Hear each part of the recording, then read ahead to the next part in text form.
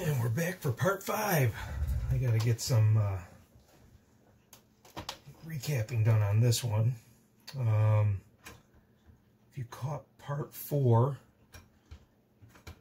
I pretty much just cleaned it up, put it in a new case here. And I did a little preventative maintenance on it already that I did off camera. You'll see these white, um, I guess you call them a sheath, that are going over these posts help support them. A lot of times what they'll do is when the screw goes in, they'll, they'll flare out and they'll crack from being taken apart too many times. Uh, I got these from Jeff Birt, and I'll, I'll leave a link to his uh, channel. He has these um, uh, 3D printed parts, because a lot of times these back clips will break, these posts will split, same thing for the bottom ones and and it's a nice little kit that you can buy or individuals and um, renew your case on the inside. And uh, I, like I said I'll leave a, a link to his uh, website for that. So what I'm looking at doing today I want to recap all these um, electrolytic convert uh, capacitors. There's a bunch of them there's about 13 on there I believe um, but I did run into one little problem. I noticed these ones were black and silver. Most of the ones you find are usually a, a um, light blue color. So I started looking at them a little closer and I noticed the values were a lot higher on this one. These aren't in order, but um, there were the, the majority of them were all 50 volt, 10 microfarad and a lot of the uh, 2500407 boards I've worked on or have all have 25 volt 10 microfarad. I thought that was kind of high. That just seems ridiculous to have that kind of voltage stored on that 5 volt. I think that's 5 volt rail that that's all those are all on. Somebody correct me if I'm wrong, but that just that doesn't look right. So I went to schematics, I'm looking at them, and I don't know if I get that in the shot. Let's see. If you look here, a lot of these electrolytical, it says on here, um, are 25 volt, 10 microfarad. 25 volt microfarad. 25 volt microfarad. Now I don't have a revision on this one so I can't guarantee that's what's supposed to be in it.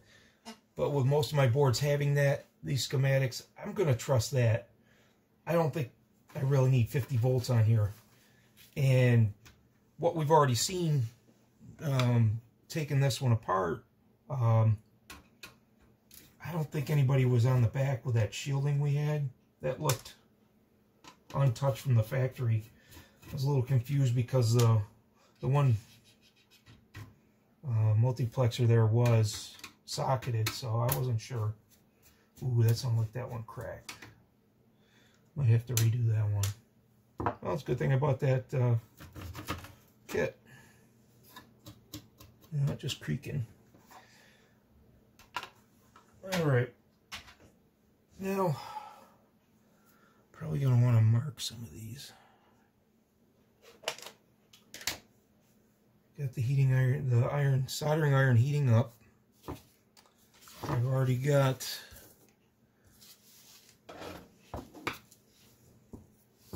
capacitors ready, laid out. You can see they're a lot smaller. Not because of the voltage, but just the newer technology to make them. They're so tiny now that uh, it's amazing they can fit them in there. Another one I came across I thought that was strange. I've seen differences in these main, especially this one here on the C90. This one's calling for a 50 volt, 470 microfarad uh, axial capacitor. But all the ones I've had uh, have a 25 volt. I don't. I just don't think we need that kind of that that kind of voltage to to draw to to give out. But again, I'm no I have no background in electronics, so I just think using a little common sense might get me a little further than going verbatim off of some of this stuff because Commodore was known to use whatever they had in stock, which brings me back to why I think they had 50 volt. We'll be right back.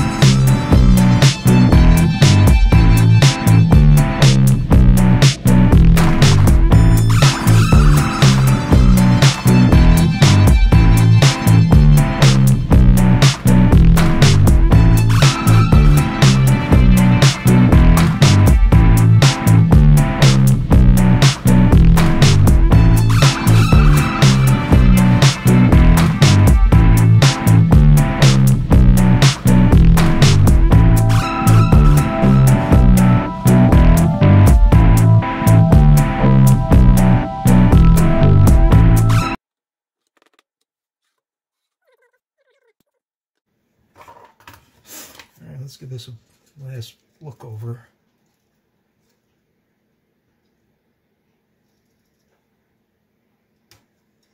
Oh, it's a ferrite beads I hear rattling.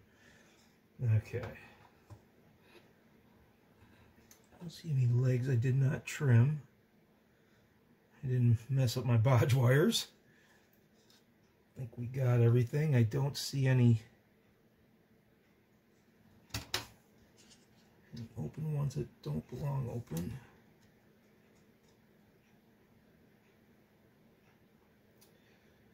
fire it up, give it the smoke test, and we'll check what we got on the rails here for those new regulators. I don't see any bridging there. Okay, that's good. Okay, let me get you set over, set up over here. We'll fire up and see what we get. Okay. What I didn't show is I, I took a minute, a second to uh, sprayed this with IPA and just cleaned it with a toothbrush to get off that extra flux. So I'd be lying to you if I told you I wasn't nervous, but I am because that was probably the roughest uh, recapping I've ever had. But again, if they were all easy, it wouldn't be much fun, I guess.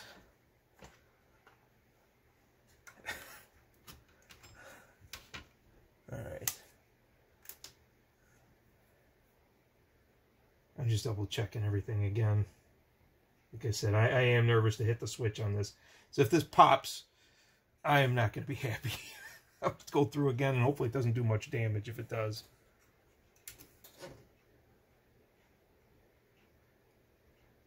Okay. I don't see smoke. I do have a picture though. that would have popped right away because those capacitors, if you put them in the wrong way, they they let you know. Okay. Well, let's check let's check the voltages then. You see that? Yeah, a little bit. Okay. 5 volts. 20 DC. See that? Yeah, you can see that. Okay. Wires are all tangled. Okay. Alright, common ground. Check our 5 volt here. Rail 2 should be our 5 volt. Mm. Nope. Oops, I slipped off the ground. There we are. 4.91. That's good. Coming in is 9.46. All right, this should be our 12.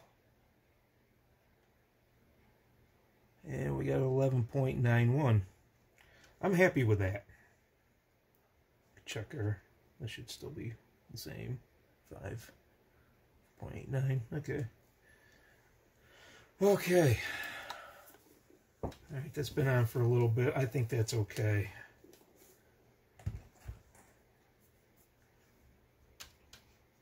Well, I guess I could give it a boring dead test cartridge test.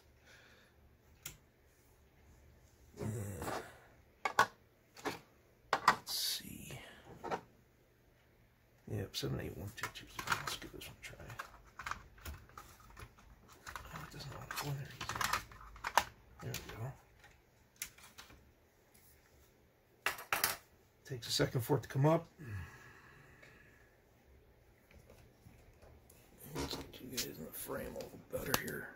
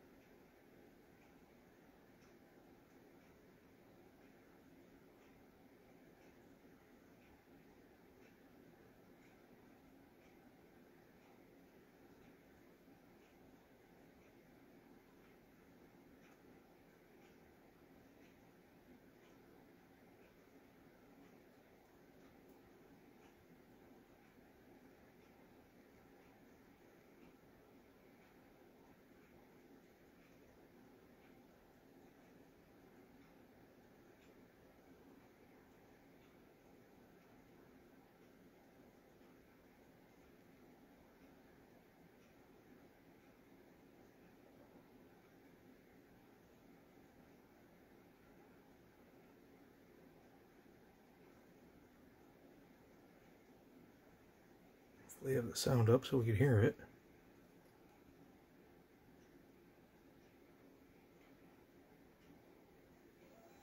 There it is.